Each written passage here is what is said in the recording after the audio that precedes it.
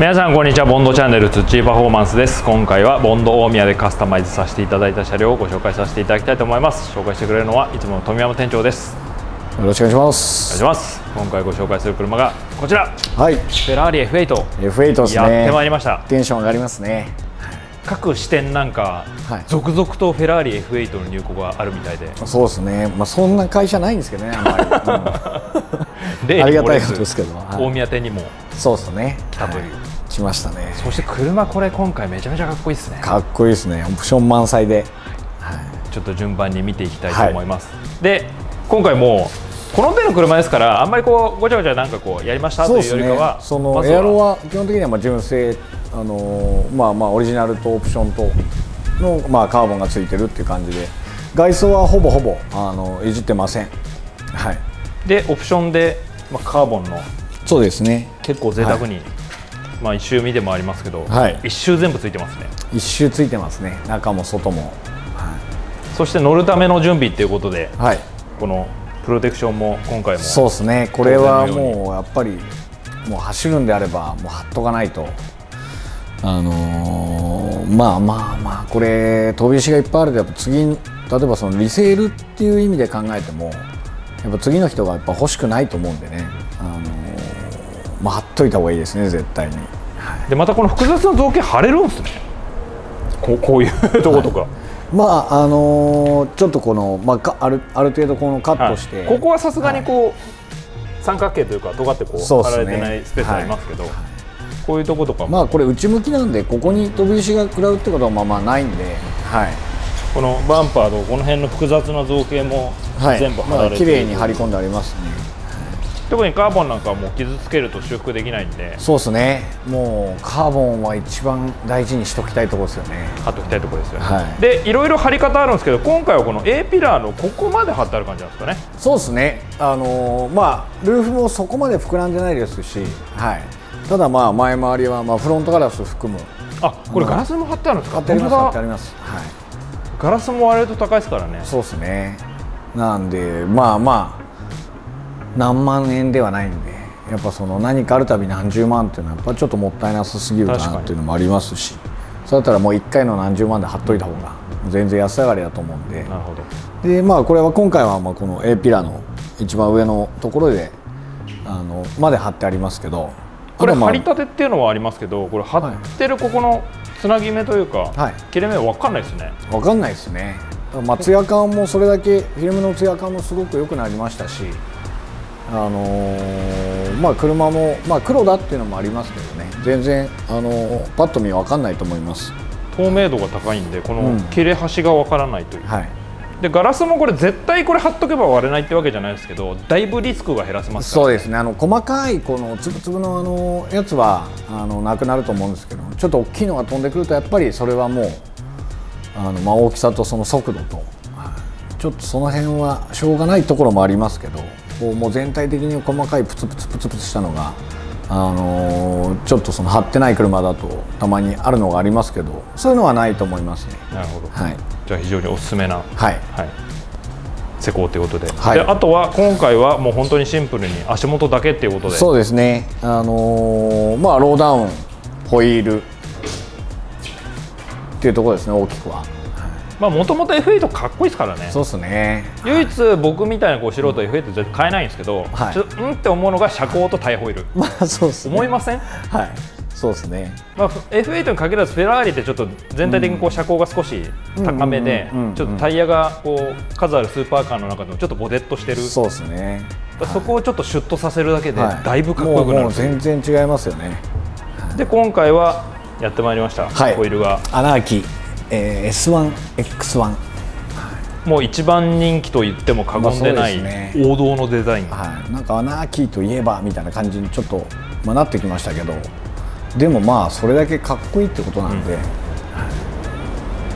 でアナーキーはこれあれなんですよね。アメリカの HRE ってもう超老舗鍛造ホイールメーカーなんで、はい、まあ、クオリティだったりだとか。そうですね、まあ、その辺もまああまあ、あのだいぶ安心できますよね。なるほど、だからガンガン走られるオーナー様にもはい。自信を持ってお勧めできる、そうですね。このまあまあフェラーリのパフォーマンスでも全然こう問題ないホイールだと思います。そして今回は僕ちょっと意外に思ったんですけど、シンプルなワンピースなんですね。そうです。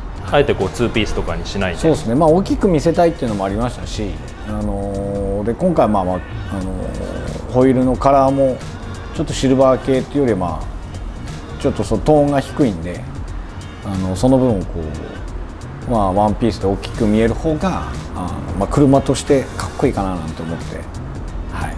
これ絶妙っすね色がまたそうですね。この金属の透け感と、はい。ブラッシュドブラックグロス。この磨いた跡が若干見えて、そしてこの表情が黒く見えるとことちょっと透けてシルバーっぽく見えるところと、ちょっとメカメカしい感じが。まあボディ色黒であのーまあ真っ黒じゃなくてまあブラッシュドでってとこがまたいいですよね。なるほどで僕さっき話を聞いてびっくりしたんですけど、もうこのオーナー様の車歴、まあ、数々の、まあ具体的には言えないですけど、はい。もう全然真逆のホイールを履いてたりとか まあそうです真逆の車乗ってたりとか、はい。でここなんだなっていうそうですね。本当にいろいろ車で遊んでるなっていうのがい伝わってきました。もうめちゃくちゃ遊んでますね。でもうめちゃくちゃ乗られるんで。あそうなんですね、はい。飾っとく感じじゃないもう出し惜しみのないお客様ですね。なるほど。はい、そして今回車高もはい、絶妙な感じで。そうですね。はい。これあのちょっとあのーフェラーリ、まあ、458とかもそうですけどディフューザーが低いんで。それみんな言いますね。あのーまあ、ここまで避けてディフューザー大丈夫なの？当たらないの？っていう問題あるんですけどこれはですね当たります。やっぱり当たるんですね。当たります。いやこれスタイリングを目指すんだったらもうちょっといけるかなと思ったんですけどすね。やっぱりディフューザー問題あるじゃないですか、はいはいだからそれで走るので少し若干こうそうですね、はい。飾っとく車高じゃなくて走る車高にしたのかなと思ったんですけど、それでも当たるんですよ、当たりますね。今ちょっと当たらない流れかなと思ったんですけど当たるんです。当たるんですはいこれしょうがないです、はい。これ純正でリフターは一応ついてるんですよね。ついてます。まあフロントだけなんであのまあ、リアはもう逆に前上がるとそうなんですよ。ディフューザーちょっと低くなっちゃうんで ちょっと余計にっていうところありますけどね。リアにとっては逆効果という。そうですね。やっぱりちょっとその辺弊害があるんですね、まあありますね。ただまあでもしょうがないですこれは、はいまあ、そういう車使うシチュエーションであんまり不便だったら四輪でこうリフター入れたりとか、そうですね。でいろいろできちゃうと。あのー一応まあまああの四輪入れる選択もありますし、まあ、あとはまあ車高をまあどの位置で止めるのっていうところで、はい。ただまああのーまあもちろん簡単にしょうがないっすって言えない金額なんであのまあ本当は言っちゃいけないんですけどお客様このオーナーと話すとまあ仕方ないかってまあ言ってくださるまあ、というか四輪出すほどじゃないかな、はいまあそうですまあ、ね、使い勝手によりますよねだから、うんうんうん。頻繁にこう行かれるところが段差多いとか、ちょっとここが毎回面倒なんだよっていうんであれば入れちゃった方がいいですし、まあ、ちょっとご自宅によってはもう必ず当たっちゃうんだっていうご自宅もあったりとかあのするんでそういう方はやっぱりあの入れますし、はい。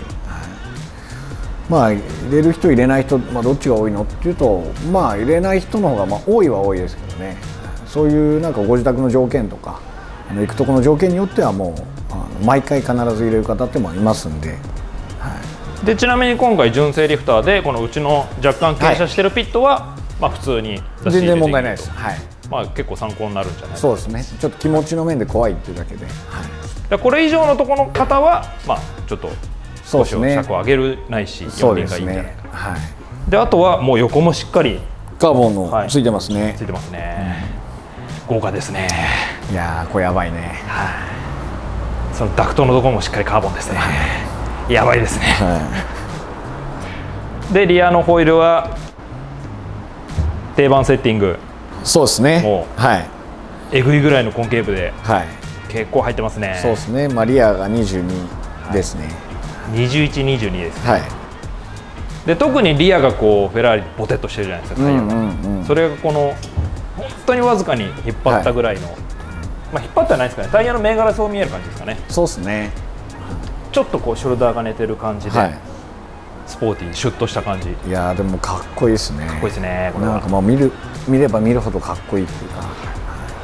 こんな感じになっております、はい。そして後ろやってまいりましたディフューザー問題、あのーちょっと最近短期間でいろんな視点回らせてもらったんですけど、うん。やっぱり F8 結構ご入稿いただいてて、んあの全員同じこと言ってました。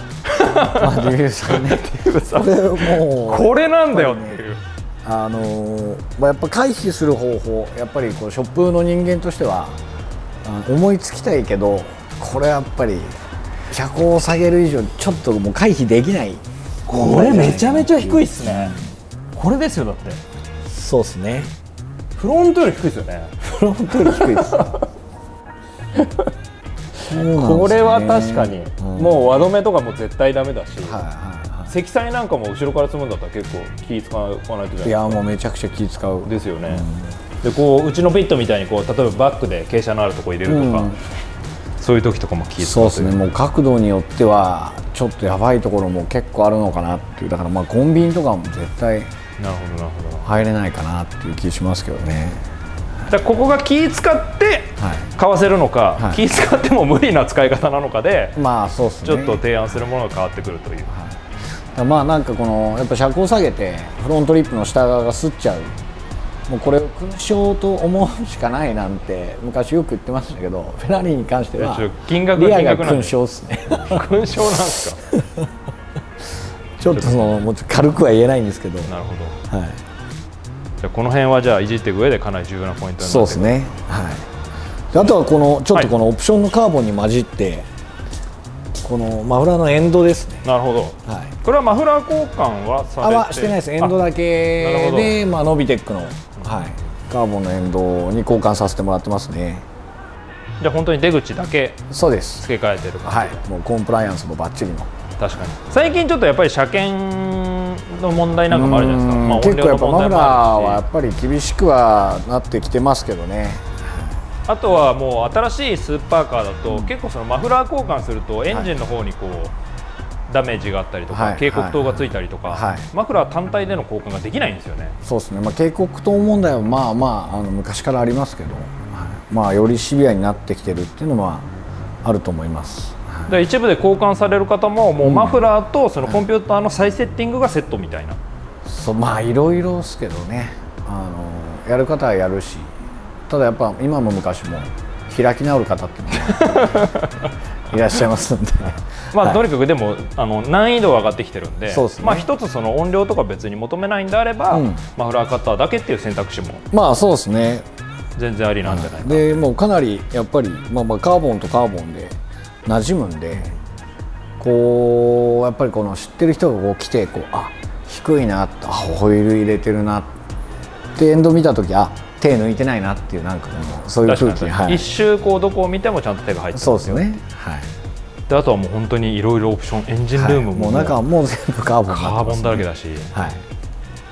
すごいですよね、ちょっと内装も見せていただきましょうか、はい。内装もあらゆるところがカーボン。ですね。ふんだんに ふんだんに使ってあります。どっちかっていうとボディ黒だとやっぱりカーボンの目立ち度で言ったらあの明るい系のボディカラーに比べるとちょっと一歩こそうですね。う劣っちゃうじゃないですか。はい。にもかかわらずもう妥協しない。いや全部カーボンこれだけ入入ってるとものすごく あの入るっていうか、パッと見わかんないですよでも。そうですね。中もすごいですよね。じゃあ続いて中も。特に中はカスタマイズさせていただいたっていう感じではないんですよね。そうですね。あのーレーダー探知機足したりとか、そのぐらいですかね。あとは、まあ、スーパーカー、まあ、これも特にそうですけど、あのーまあ、数々のスーパーカー運転席から後ろが見えないっていう。はい。なのでこれちょっとリアバンパーについてますけどデジタルインナーミラー。あついてるんですね、はい。取り付けさせてもらってますね。じゃあもうスーパーカーの定番の弱点後方の視界もそこでちゃんとそうですね。はい、しっかり見えてるんで、まあ、運転しててこの、まあ、だいぶこう不安になる気持ちがないっていうかその辺はやっぱりあると心強いですよね。で中のカーボンとかもすごいですね。ハンドルもそうだしね。パドルもそうだし。もえここもここもってぐらい使ってますね。でこれさっき聞いたらシートもなんかオプションなんですかこれ？そうですね。アルカンターラの、はい。すごっ。いやもう結構あのオプションだらけのフェラーリなんでちょっとこれ他のと違うぞって気がしますけどね。ちょっとだからやっぱりこの手の車はこのオプションで結構充実させて、うん。もう本当にアフターパーツさらっと仕上げるっていうのもうん一つのかっこよく乗るそうですね。手段かなっていう、はい。いやすごいですね。僕特にあの車歴を今聞いて全部つながってるんで、うん。あこれからこれになってこれも乗ってるんだってそうですね次どこ行っちゃうなって。いう、いや本当にそういう話ですよね。はい、もう車じゃなくなるんじゃないかなっていう気がしますけどね、はい。はい、というわけで今回は大宮店でカスタマイズさせていただいたフェラーリ F8 をご紹介させていただきました。で今回のこの F8 みたいにこう最新のお車もぜひお任せくださいということで、そうですね。もちろん。あの、まあ、今回はまあ外装はもう爽やかにあの、まあ、シックにというか、まあ、さらっと仕上げる感じそうですね。十分あのもうフェラーリって感じなんですけどこれもちろんマンソリーもねあの 出てます。全く逆方向のえぐいやつもそうですね、はい。